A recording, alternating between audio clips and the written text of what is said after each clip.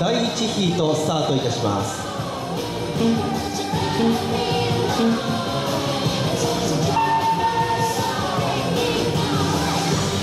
さあおすごいわずかな隙をついてまいりました中村選手。ホワイトグリーンのボディ。さあそして2番手に2コース三重野選手。3番手に1コース岡平選手というオーダー。さあ中村選手今週回11秒250さあいきなり JCC クラスのね速いタイムをマークしましたね。これ11秒台の前半というタイムはねこのクラスとしてはかなり速いタイムです。11秒100そして岡平選手11秒490 3番手に行く2コース三重野選手4番手6コース志村選手のオーダー。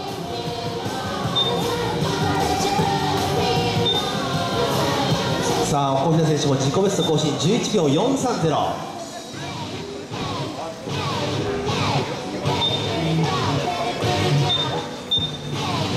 さあ岡平選手出ました。11秒150白とピンクのマシン。さあバックマーカーをパスしていった。走行時間残り45秒です。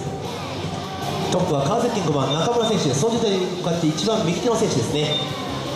中村選手はすでにファイナルチャンピオンシップ代表権を獲得している選手ですね。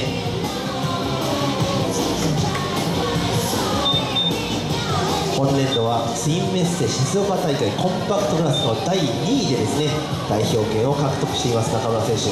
ホワイトグリーンのカラーリング現在コース左セクション。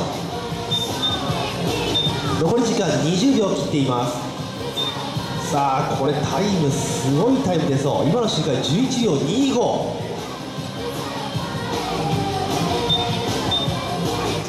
残り時間5秒です。中村選手11周目に入ってきました。先ほどね持ちタイム6秒台だったと思いますさあここで2分経過。5コースゴール2コースゴール。1コース6コースゴール。レース続行中です。3コースゴール。はい全車ゴールとなります。